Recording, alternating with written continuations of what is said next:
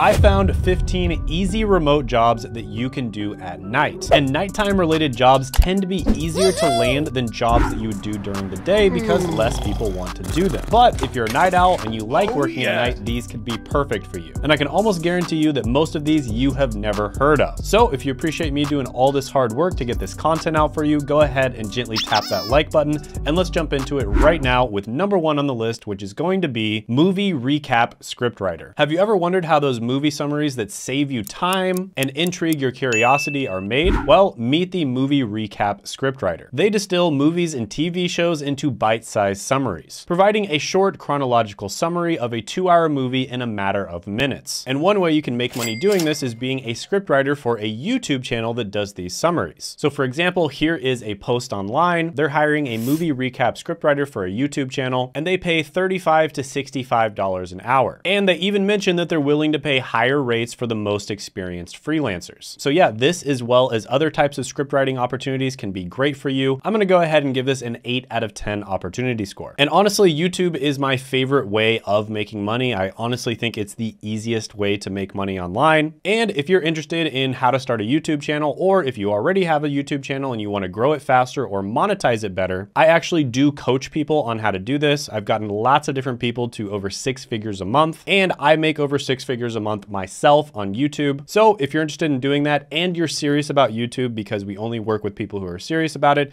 go ahead and check that out by clicking the link down in the description as well as the pinned comment below. Next is going to be a helpline coordinator. And this is basically a position where you intervene through calls whenever someone's feeling like they want to hurt themselves. And there are many companies that hire for these types of positions, and this company, for instance, starts at about $24 per hour. And as you can imagine, this is of course a position where there's gonna be a lot of opportunities in the middle of the night. Now, this is an incredibly important position because unfortunately, this is one of the top nine leading causes for death among the ages of 10 to 64, and it's the second leading cause for death in between the ages of 10 to 14 and 20 to 34, which is really sad if you think about it. So like I said, there's a lot of different companies that hire for this. Here's another one where they pay about $58,000 a year. This is an extremely mentally taxing job because you're going to be talking to people who are in a terrible situation.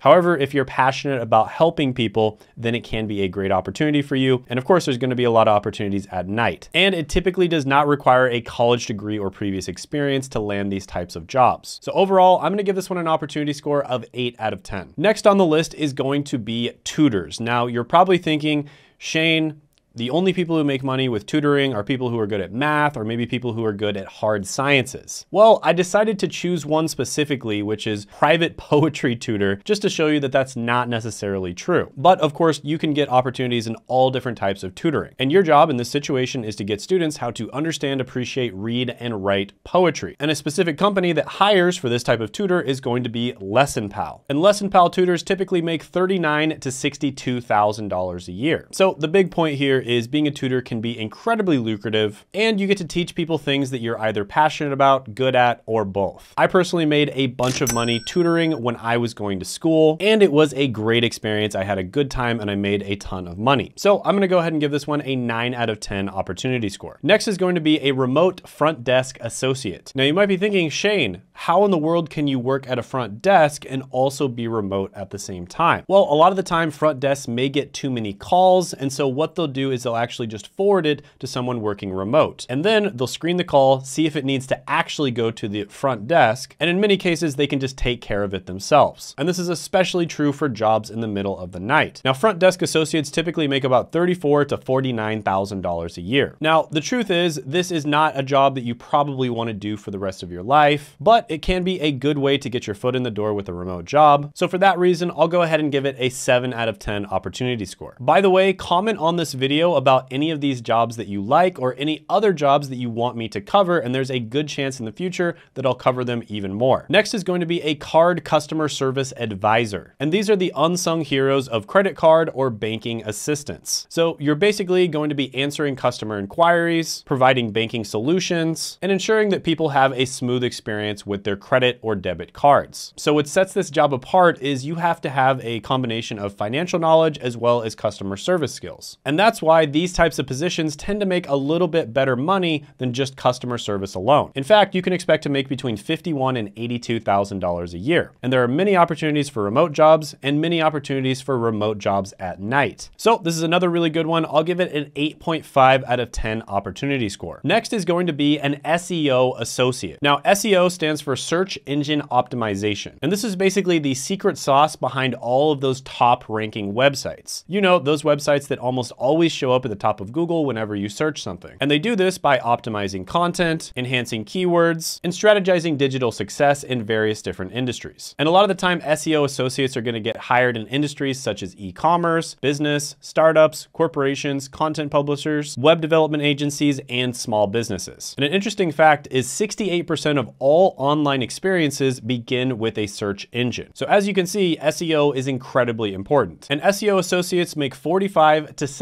$74,000 a year. Now, SEO is a type of digital marketing, and digital marketing is the most popular and best type of marketing in the modern day because you can actually track it. Think about it. It's very hard to track how many sales you get from a banner ad or a TV ad or a radio ad. However, with digital marketing, you can track exactly how much money you make from these different types of ads. And I've actually interviewed a bunch of people on this channel that have been able to get into digital marketing. For instance, Orlando was an actor in Los Angeles, and he was able to quickly land a high paying digital marketing job that was remote, flexible, and allowed him to pursue his passion of acting. And if you're curious how he was able to quickly land this job, he was actually able to do it through my friend Seth, who's helped thousands of people get into digital marketing. And Seth does have a free masterclass which explains everything you would possibly want to know about digital marketing and whether it's right for you. And I'll put that down in the description as well as the pinned comment below. So go ahead and click that if you're interested. But yeah, SEO associate is amazing. Lots of different digital marketing careers are awesome. I'm going to give this a 9.5 out of 10 opportunity score. Next is going to be a customer care specialist. And this is a person who's responsible for addressing customer inquiries. And they're also going to resolve issues and provide assistance, all to ensure a positive customer experience with a company's products or services. And customer care specialists make $37 to $53,000 a year. Now, I get it. This is not going to be the sexiest job out there. You're going to have to deal with Karens. But with that being said, this is still one of the easiest remote jobs to land. There's still literally millions of different customer service jobs available, and there's a ton of them available at night. So is this something you're gonna do for the rest of your life? Of course not. But is it something that you can quickly land a remote job at night with? Yes. So I'm gonna go ahead and give this one a 7.5 out of 10 opportunity score. Next is going to be tier one tech support. Now this may also be referred to as first line support, and you're basically responsible for providing initial customer assistance and resolving basic technical issues. And you serve as the first point of contact to customers that are experiencing technical difficulties. So there's lots of different companies companies that hire for this type of position. Just to mention a few, internet service providers, telecommunications companies, and customer support outsourcing agencies. And first line support makes 42 to $72,000 a year. And you might notice that that's much higher than a customer service representative. And the reason for that is because you do have to have a little bit of technical skill. You have to be relatively good with technology. But does this career require a college degree? Absolutely not. Does this career require previous experience? Usually not. And by the way, sometimes I get comments down below about certain careers where they'll look up, you know, technical support, for instance, and they'll say, oh, the company does want previous experience. I can tell you for these types of roles, after helping hundreds of people get into them, even if it says it requires experience,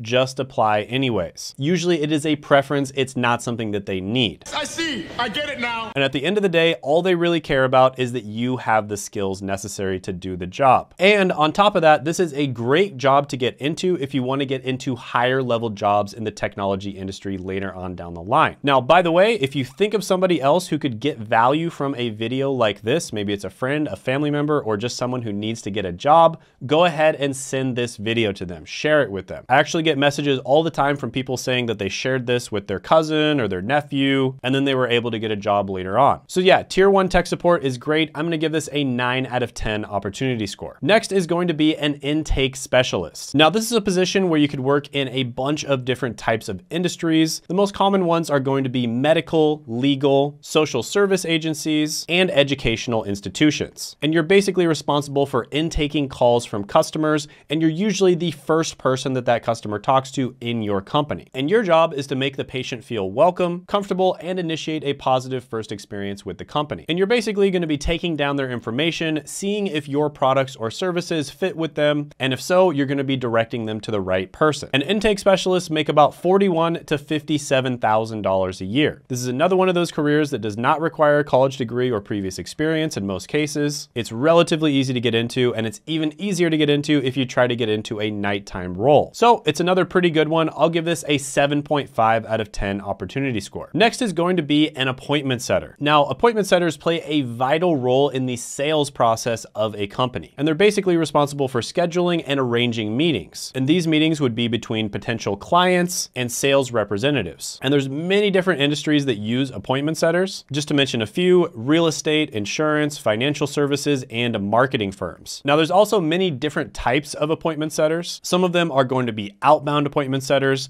If you do that by phone, that would be known as a cold caller. Many of them are going to be inbound appointment setters where you basically wait for someone to call or message you. Some of them only message with people. So for instance, there's appointment setters on Instagram that literally just message with people. They never talk to anybody on the phone. And then some of them are gonna be more integrated into the sales process. And appointment setters typically make between $45 and $70,000 a year. And there are certain types of appointment setters that can make much more than that. So this is another really good one. It's also a great way to kind of dip your toe in the sales industry without jumping in head first. And then there are higher level sales jobs that you can eventually move into that can pay much, much higher than this. So I'm gonna give this one a 9.5 out of 10 opportunity score because there's a lot more opportunities down the line. By the way, if you haven't done it already, what are you thinking? Hit that subscribe button and ring the notification bell. I think only about 20% of people who watch the channel regularly are subscribed. So stop lurking, hit that subscribe button and notification bell, and you'll never miss out on the content that I'm about to drop because it's gonna be awesome. Next is going to be a social media community manager. And this is basically a position where you represent a brand. And you do that by engaging with the brand's online audience, responding to concerns, and in some ways being the voice of the brand. And social media community managers make 54 to $85,000 a year. And the great thing about this job is it's relatively easy to get into, doesn't require a college degree or previous experience. And it's actually easier to get into it if you're young. And the reason for that is pretty obvious. If you're young, you're gonna be more familiar with social media. So this is another really good one. I'm gonna go ahead and give it a nine out of 10 opportunity score. Next is going to be a legal assistant. And this is someone who provides administrative support to legal professionals. And this might include drafting documents, conducting research, and managing client communications. And there are many different organizations that hire for these types of positions. Some of them include law firms, corporate legal departments, government agencies, and legal outsourcing firms. And legal assistants make $43 to $63,000 a year. Now, some law firms are gonna require you to get an associate's in paralegal studies. Many of them don't though, and you can just get into it without a college degree. Some of them also require you to have experience, and some of them will train you. So overall, this one's a little bit harder to get into, so I'm gonna give it a seven out of 10 opportunity score. Next is going to be a remote hotel reservationist. And this is someone who's responsible for booking hotel accommodations over the phone with guests. They may also help people online through chat, assist with inquiries, and overall just do whatever they can to ensure a smooth booking process. And there's various different types of companies that hire for these types of roles, and these include hotels, resorts, travel agencies, and online booking platforms. So this is basically a combination of customer service skills with some knowledge when it comes to the travel and hotel industry. In this position, you'd make about 35 to $53,000 a year. So this is another pretty decent one. I'm gonna go ahead and give it a seven out of 10 opportunity score. Next is going to be a telephone interviewer. And this is somebody who conducts online interviews or online surveys in order to get people's opinions and gather data. And you could be hired by various different types of companies like market research firms, polling organizations, customer feedback agencies, and even government agencies. And telephone interviewers make 33 to $47,000 a year. Now, this is not the highest paying job ever. It's probably not something you want to do for the rest of your life, but it can be relatively easy to land this job. Doesn't require a college degree or previous experience usually. So yeah, pretty decent one. I'll give it a seven out of 10 opportunity score. Next is going to be a donor coordinator. This is someone who's responsible for managing and coordinating organ and tissue donation. And this involves communicating with the organ donor, the organ recipient, the hospital, and the transplant center. And in this position, you make about 43 to $62,000 a year. Now with this role, a bachelor's degree is often required, but it sometimes doesn't matter what type of bachelor degree it is. And in addition, they also prefer people who have previous experience. You're also gonna need some training, but typically the company or hospital is going to be able to train you. So yeah, this one is pretty good. It's also harder to get into though. So for that reason, I'll give it a 7.5 out of 10 opportunity score. By the way, if you haven't seen it already, I did have a video that went viral viral because people loved it so much, and that was the seven remote jobs that are always hiring, and you can check that out by clicking right here.